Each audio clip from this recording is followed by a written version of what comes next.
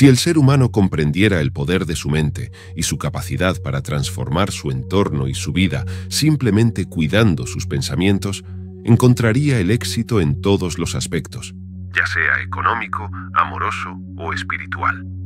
Este éxito es tan predecible como la salida y puesta del sol en el cielo. En este vídeo exploraremos las claves que nos permitirán adoptar una perspectiva diferente ante los acontecimientos de la vida y utilizarlos a nuestro favor como impulso para seguir adelante con un propósito auténtico, acercándonos cada vez más a nuestras metas y a una plenitud verdadera que se siente en lo más profundo de nuestro ser. La experiencia humana está moldeada profundamente por los pensamientos que circulan por nuestra mente, a menudo llevándonos por caminos de preocupación, ansiedad o autoduda. Sin embargo, en medio de esta confusión y falta de espiritualidad, existen hábitos y formas de pensar que nos ofrecen una luz de esperanza para aquellos que buscan liberarse del ciclo de pensamiento negativo. Comprender que los pensamientos no siempre reflejan la realidad sino que son interpretaciones moldeadas por percepciones individuales, es un paso crucial hacia la libertad mental. La realidad de cada persona está coloreada por los trazos únicos de sus pensamientos, demostrando que lo que pensamos no siempre coincide con lo que es.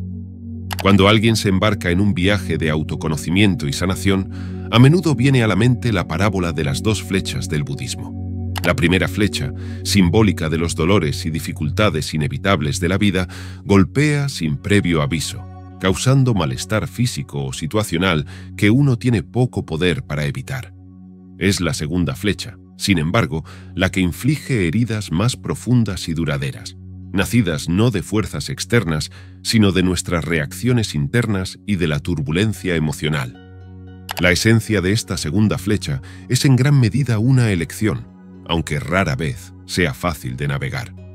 Reconocer la diferencia entre el sufrimiento inevitable y la angustia que nos imponemos a nosotros mismos es un paso profundo hacia la liberación emocional.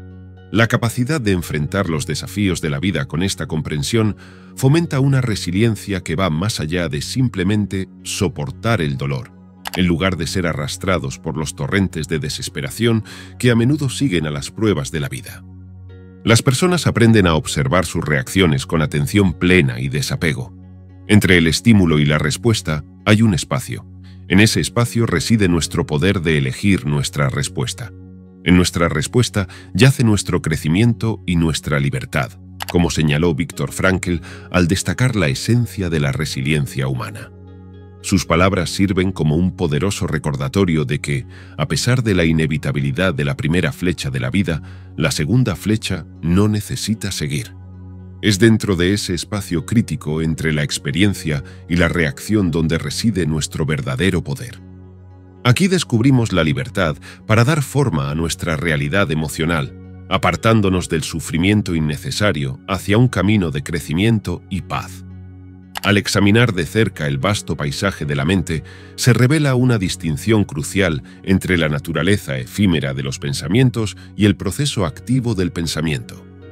Los pensamientos, similares a las hojas que flotan por un río, son transitorios y están más allá de nuestro control. Aparecen, fluyen y eventualmente desaparecen. El pensamiento, por otro lado, se asemeja al acto de adentrarse en el río para atrapar estas hojas un esfuerzo que demanda esfuerzo e intención. Es aquí, en el compromiso liberado con nuestros pensamientos, donde se esculpen los paisajes emocionales, a menudo sin nuestro consentimiento consciente. Al comprender esta distinción, las personas pueden discernir el papel de los pensamientos pasivos en sus vidas, separándolos de la construcción activa de la realidad a través del pensamiento. Considera la alegoría de un pintor frente a un lienzo, donde los pensamientos son los múltiples matices en la paleta y el pensamiento es el acto de pintar. Cada trazo en el lienzo refleja una elección, un compromiso con ciertos pensamientos sobre otros, así como un pintor decide qué colores mezclar y dónde aplicarlos. Las personas tienen el poder de seleccionar qué pensamientos merecen una mayor contemplación y cuáles deben permitirse pasar. Esta realización nos capacita para curar nuestra galería mental, fomentando un ambiente donde la paz y la positividad ocupan un lugar destacado. A través de esta metáfora, el viaje de distinguir los pensamientos del pensamiento se convierte en un acto creativo que ofrece un camino hacia el bienestar emocional y una vida pintada con trazos más amplios de alegría y contentamiento. Adentrándose más allá del ámbito del pensamiento racional, uno descubre el vasto paisaje de la intuición, un espacio sagrado donde la sabiduría fluye sin trabas por las limitaciones del razonamiento lógico. Cultivar una conexión con este sistema de guía interno requiere un silenciamiento deliberado de la mente. Actividades como la meditación, la respiración profunda o largas caminatas en la naturaleza no sirven como simples pasatiempos, sino como puertas de acceso al silencio interno. Dentro de este silencio, la intuición emerge con claridad, ofreciendo ideas que desafían el análisis convencional. Confiar en estas percepciones construye un puente hacia decisiones que resuenan profundamente con nuestro ser esencial, llevándonos por caminos de profundo cumplimiento y propósito. Sin embargo, embarcarse en este viaje exige un salto de fe, una disposición a creer en lo no visto y no probado. ¿Con qué frecuencia pasamos por alto ese suave impulso en el fondo de nuestro estómago solo para lamentarlo después? O descartamos un pensamiento fugaz que parecía demasiado extravagante, solo para descubrir que era la respuesta que habíamos estado buscando. Reconocer estos momentos como comunicaciones de nuestra intuición requiere una confianza en uno mismo que muchos encuentran difícil de reunir. Fortalecer esta confianza implica prestar atención a cómo se desarrollan nuestras elecciones guiadas por la intuición. Cada paso dado en alineación con nuestra guía interna refuerza nuestra confianza en el camino no visto. Preguntas como ¿alguna vez has sentido que una decisión era correcta en contra de todos los argumentos lógicos? ¿O recuerdas alguna vez haber sabido algo sin saber cómo lo sabías? Invitan a reflexionar sobre nuestra relación con la intuición. Estas indagaciones fomentan una exploración de las innumerables instancias en las que la intuición nos ha guiado, a menudo desapercibida, a través de las complejidades de la vida. Reconocer estos momentos ilumina la profundidad de la sabiduría que reside dentro, esperando ser reconocida y actuada. Al fomentar un entorno donde la intuición no solo se escuche, sino que también se obedezca, abrimos puertas a una riqueza de experiencias a las que el pensamiento racional solo no podría acceder. Los milagros comienzan donde terminan nuestras limitaciones. A menudo, nuestras vidas se sienten abarrotadas de creencias y dudas que sirven como barreras hacia lo extraordinario. Limpiar este desorden requiere un esfuerzo consciente para desafiar y liberar estos límites autoimpuestos. Asimilar una mentalidad donde todo es posible, independientemente de las experiencias pasadas o las circunstancias actuales, nos abre a un reino donde los milagros no solo son posibles, sino esperados.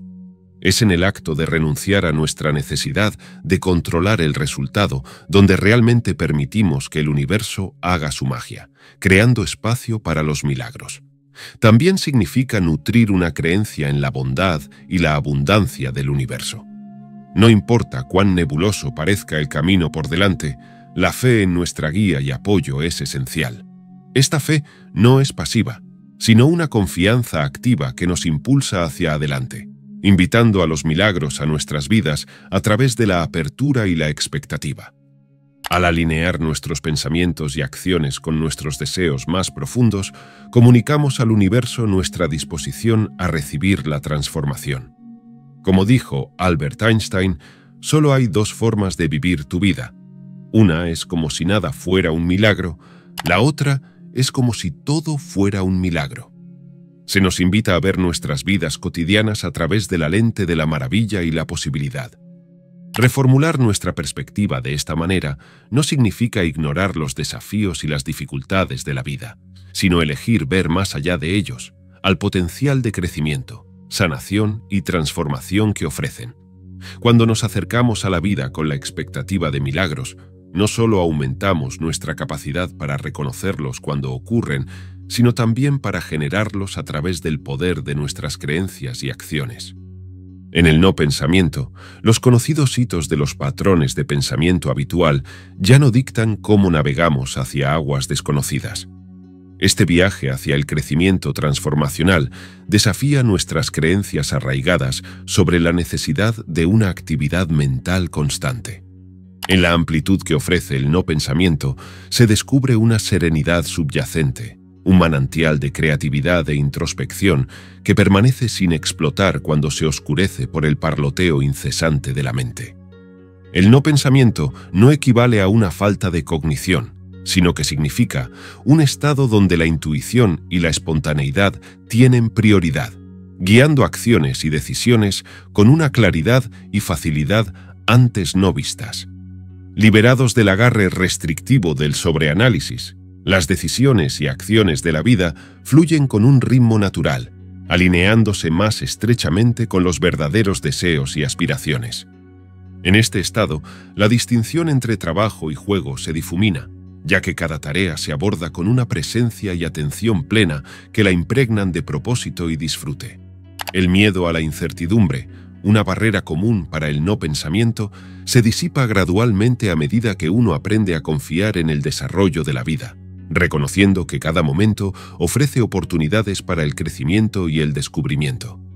Superar los obstáculos para el no pensamiento requiere vigilancia y perseverancia, ya que los viejos hábitos de la mente son tenaces.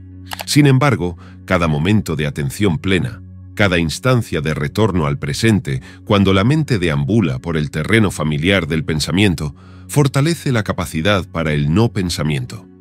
Reconociendo la incomodidad que pueda surgir en este proceso como un signo de transición, en lugar de una causa para retirarse, fomenta la persistencia. A medida que las personas desarrollan esta práctica, desbloquean una dimensión de existencia donde la paz, la creatividad y la alegría no son meras experiencias fugaces, sino la misma esencia de la vida cotidiana.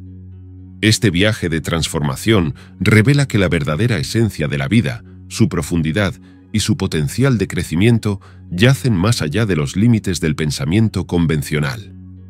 Antes de concluir, permíteme pedirte un favor enorme quiero que te grabes una simple frase en la mente. Es la siguiente. El cuidado de tus pensamientos es la semilla de tu felicidad y el combustible de tus metas. Cultiva positividad, siembra esperanza y cosecharás el éxito en cada paso de tu camino hacia la máxima realización como persona y ser de energía que eres.